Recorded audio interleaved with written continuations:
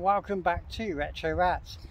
So today as you can see in the background we are here at the Oasis and the Oasis has been closed for quite a few years now and it's gone into disrepair in certain places and this part, this dome, is actually now listed. Straight, stage 2 listed. Mm, grade 2. Grade 2, that's the one.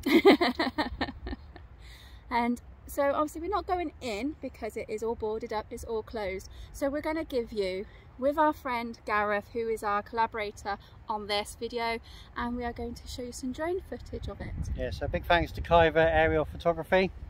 We're going to show you the Oasis in Swindon.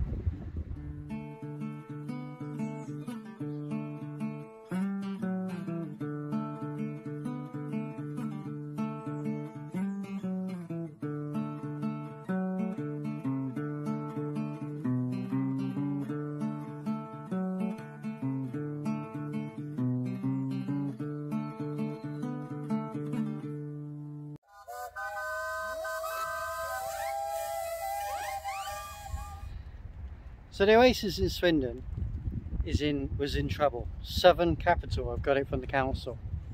And there is a big hoo-ha about the grade 2 status listing and they wanted to demolish this and build a smaller leisure centre with a lot of houses because of the land adjacent over the road.